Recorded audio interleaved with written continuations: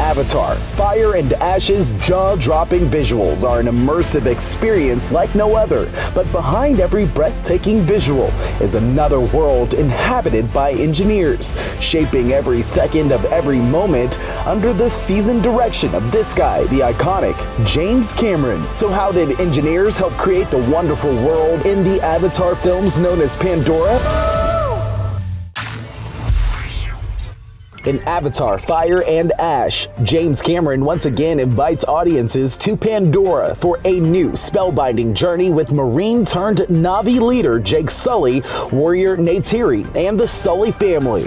Hello Circuiteers, Avatar Fire and Ash continues the massive technological advancements we first saw in the original Avatar film released back in 2009. This time around, engineers are once again helping in that process by capturing human performances and translating them authentically onto digital characters to preserve every blink and breath with the use of performance capture technology. To bring the characters of Avatar to life, engineers built one of the most advanced performance capture systems ever used in filmmaking. Production teams engineered large optical camera arrays to track full body movement in three dimension spaces. For underwater scenes, customized camera setups tracked swimmers from multiple angles.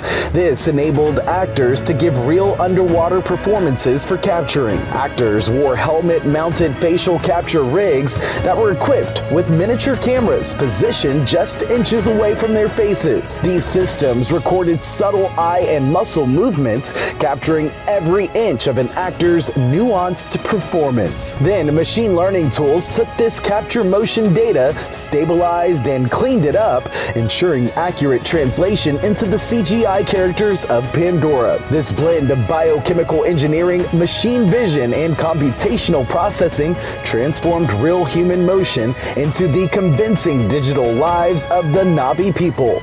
Once engineers captured those incredible performances, their second task was to help film in a world that physically did not exist by syncing lens data to digital sets, reflections, shadows, and perspective all behave like the real thing. It's called virtual production.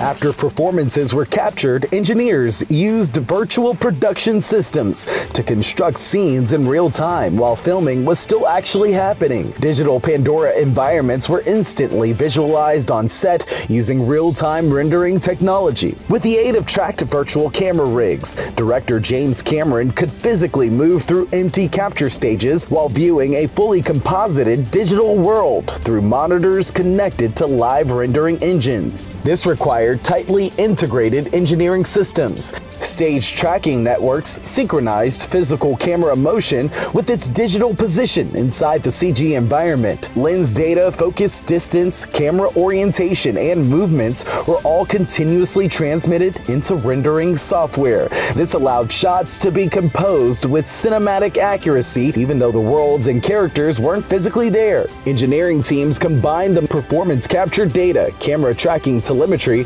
and GPU accelerated rendering into a single workflow. This gave Cameron and his team immediate visual feedback, allowing creative decisions to be made during filming instead of months later in post-production. The fusion of real-time computation, spatial tracking, and virtual simulation allowed Avatar Fire and Ash to be shot more like a live-action film, even though almost every environment existed digitally which is yet another example of how engineering doesn't just support storytelling, it helps shape how stories can be filmed.